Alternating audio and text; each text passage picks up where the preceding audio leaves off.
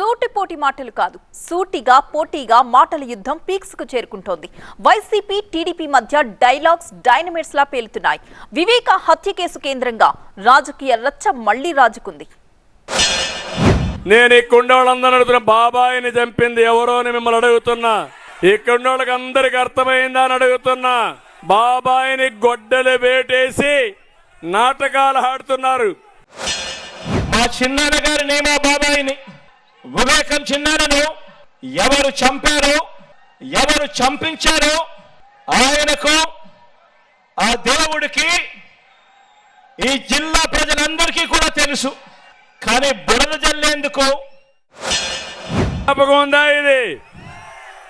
తర్వాత గుండెపోటు కాదు రక్తపు వాంతులు. ఆ తర్వాత గొడ్డలి దారుణ హత్య. అదవుతానే నారాసుర రక్త చరిత్రని నా చేతిలో కత్తిపెట్టి ఈ దొంగ సాక్షిలో వేసుకున్నారు. గుర్తుందా అని మిమ్మల్ని అడుగుతున్నా. ఇద్దరు చెల్లెమ్మలను ఎవరు పంపించారో? వారు వెనకాల ఎవరు ఉన్నారో? మాత్రం మీ అందరికీ కూడా రోజు కనిపిస్తూనే ఉంది. బెంగళూరులో ఆస్తికి సంబంధించి సెటిల్మెంట్ వివాదమే హత్య కారణం అన్నారు. గుర్తుందా అని మిమ్మల్ని అడుగుతున్నా. ఆయన రెండో వివాహమే కారణం అన్నారు. ఆస్తిలో అల్లెడితో విరోధమే కారణం అన్నారు. మా కడప ప్రజలందరికీ కూడా బాగా తెలుసు. ఎవరు చేసినారు ఏం కథ అనేదంతా కూడా బాగా తెలిసిన విషయమే.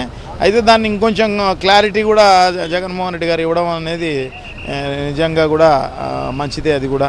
మిగతా జిల్లా ప్రజలకు కొంత అనుమానం ఉండవచ్చు. ఒకవేళ అట్లా జరిగిండొచ్చేమో ఇట్లా జరిగిండొచ్చేమో అని. అట్లా లేకోకుండా ఇప్పుడు సీఎం గారు చెప్పడం వల్ల మిగతా జిల్లా వాళ్ళకి అందరికీ కూడా మంచి క్లారిటీ వచ్చిన పరిస్థితి అన్న.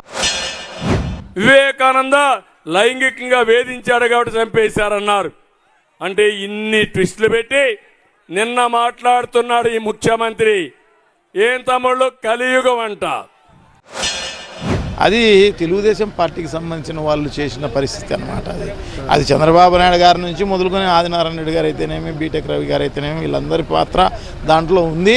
సో దాంట్లో ఆ దస్తగిరి అనే అతను నేను చంపినాను మొర్రో దారుణంగా చంపినాను ఈ- రకంగా చంపినానని చెప్పేసి స్టేట్మెంట్ ఇచ్చినోడిని.